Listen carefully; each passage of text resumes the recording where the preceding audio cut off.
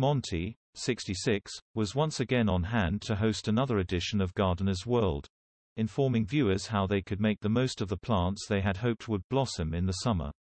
The presenter of the BBC show gave some advice on how fans could take care of their produce as the year moves on and the autumn, winter seasons approach.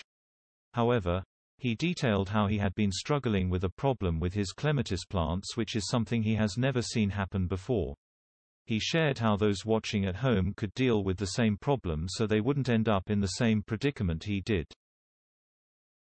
The gardening expert said, Now, I've got a problem here in the cottage garden that I've never had to deal with before.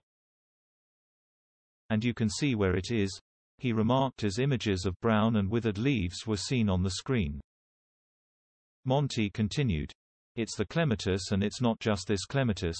There are four along the back, this north-facing border, that have suddenly and dramatically wilted.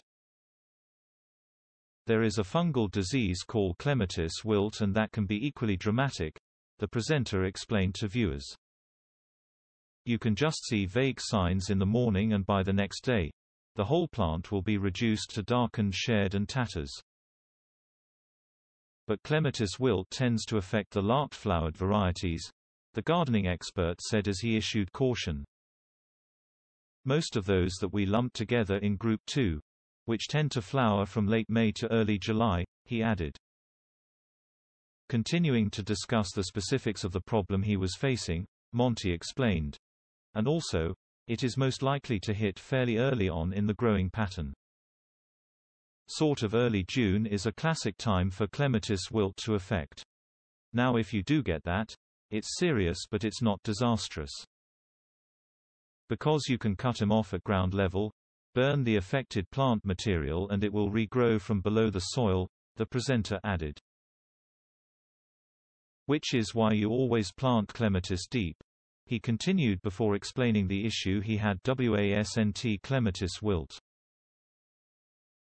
Monty told viewers he was growing Group 3 clematis and he said, What I think is we have the perfect storm here. We had a very dry April, We've then had a reasonably wet May and June, but not exceptionally so. He continued, stating the Group 3 clematis were cut right back. When they put on a surge of growth and were about to flower, they flopped dramatically, Monty explained. And that is because they simply haven't been able to take up enough moisture and particularly if there's a bit of slug damage to the stems or the stems are very thin. They've got to supply moisture to a big plant. Particularly when flowers are coming out and that's when there's real demand. And I've always taken it for granted that our soil has plenty of moisture. But it was just too dry, he said.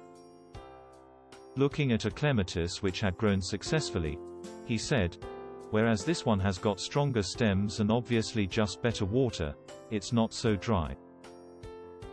And that quirkiness is not at all unusual. Two plants side by side can behave very differently, Monty explained. The gardening expert got to work as he was seen cutting back the clematis plant, right to the ground as he said. Taking to Twitter, viewers commented on the clematis plant problems, with one writing, that's some serious clematis wilt. Hope it recovers hashtag gardeners world.